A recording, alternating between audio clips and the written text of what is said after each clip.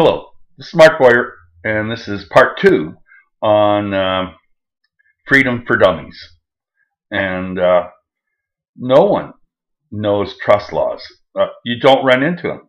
Uh, the very rich do, and they do it to hide their ill-begotten earnings. And uh, they become tax-free until they drag them out. And uh, there's a whole bunch of people out there who are dummies when it comes to trust law because there's well in excess of a thousand of them written out there uh, that you've never seen. Okay? And I'll give you a good example. Okay? Uh, the law that we saw that was called Freedom of Information Act actually was uh, what took away uh, our right to freedom of information. Uh, uh, and there was a trust law to counterbalance that because they were taking too much. But you never saw it. And when they wrote the White Collar Crime Act, okay, there was a trust law to counterbalance that put in effect. And the guy who wrote that is our trustee. Okay? And uh, he has the power to invoke the White Crime Act.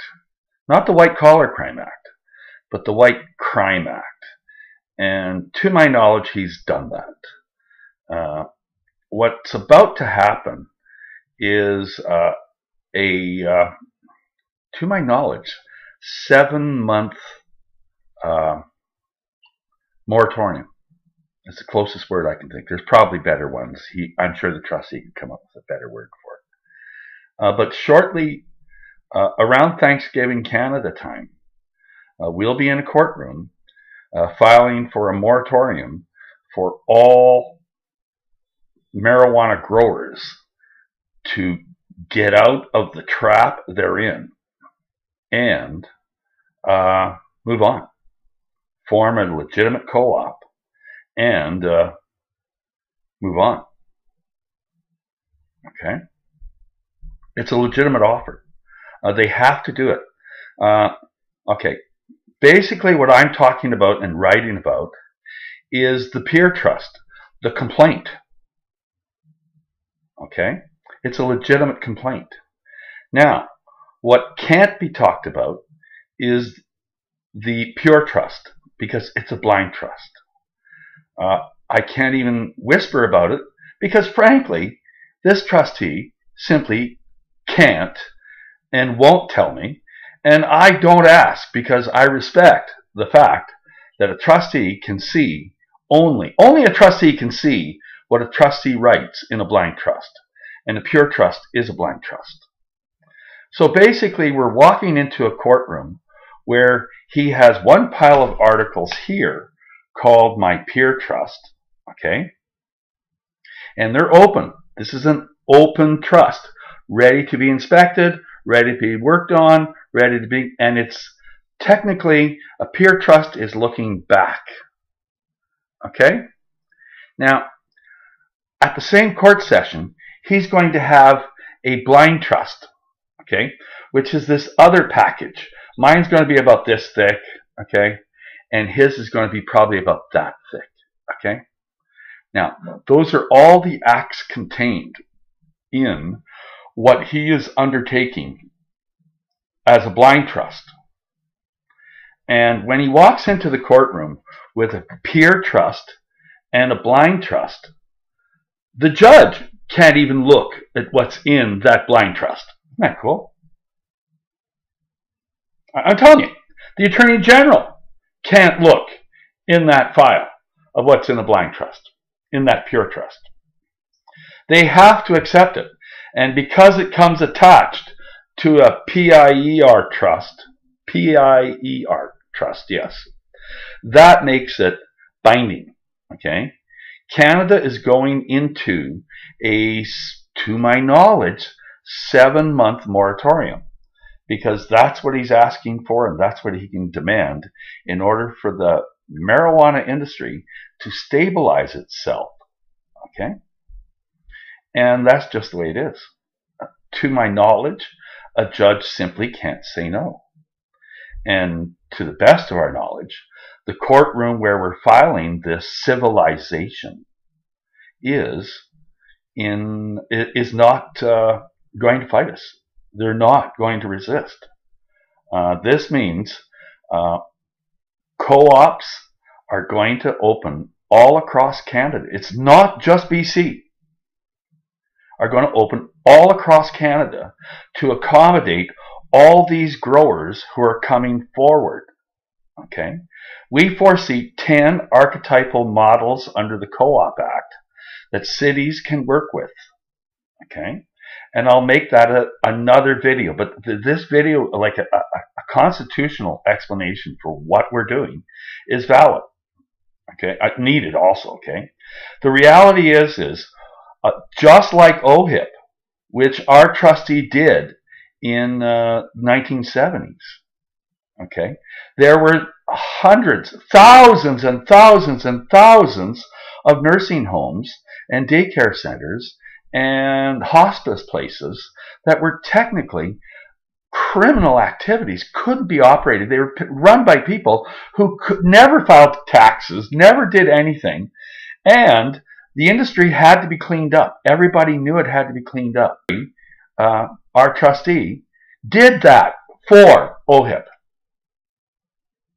And because he's got a proven track record of having done this in the past, they simply cannot deny him the, uh, uh, due to his accreditation and credentials, he they can't deny him uh, a pure trust, especially when it's attached to a pure trust that's blind because they're attached.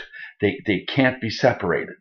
Okay, um, five trustees here get to play deep constitutional law in the background while cannabis is, for all intents and purposes, regulated through the Marijuana Party of Canada through its EDAs who form who are a federal authority who form uh, in each in their own respective provinces co-ops under the Co-op Act.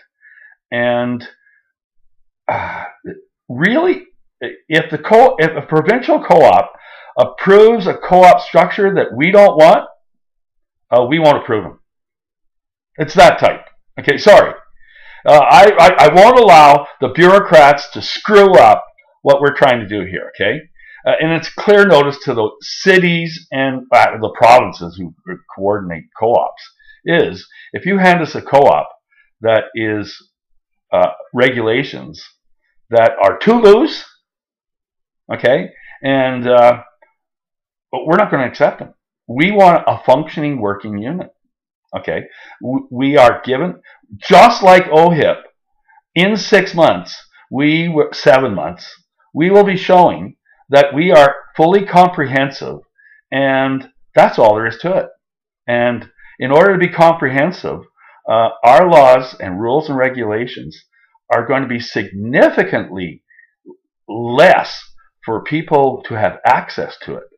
But when it comes to the growers, uh, there's going to be regulations there to clean up your act, which is exactly what OHIP had to do with the nursing homes and daycare centers and hospice centers in at that time.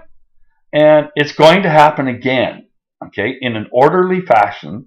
There will always be black, you know, uh, black sheep there will always be people who try to get around it.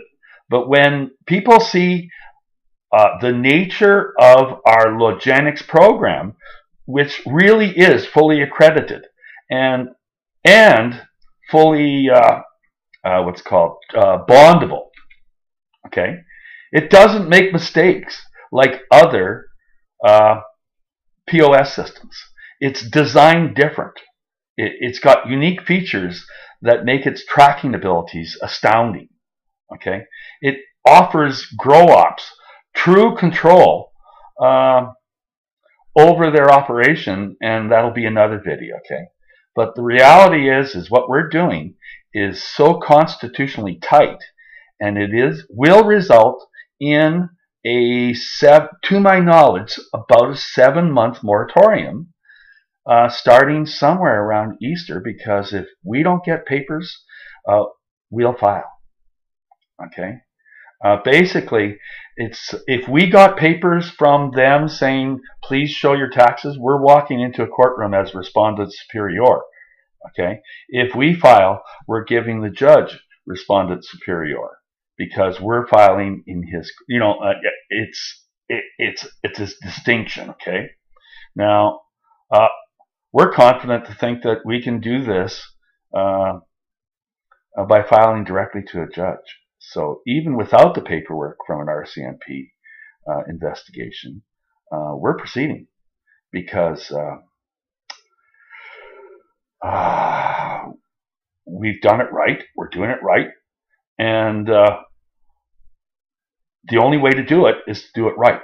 Okay? And it means a general amnesty for absolutely every grower in the province. Doesn't matter if you haven't paid your taxes. Doesn't matter. Doesn't matter your rap sheet. Doesn't matter anything. A pure trust looks back and a pure trust looks forward. And it's whether you're looking down or up that will make the difference on this. And on this, I'll uh, have a more detailed explanation about what the growers uh, are being offered here. And it, it's really a golden opportunity to uh, uh, fix a wrong and heal a society. And on that, thank you very much.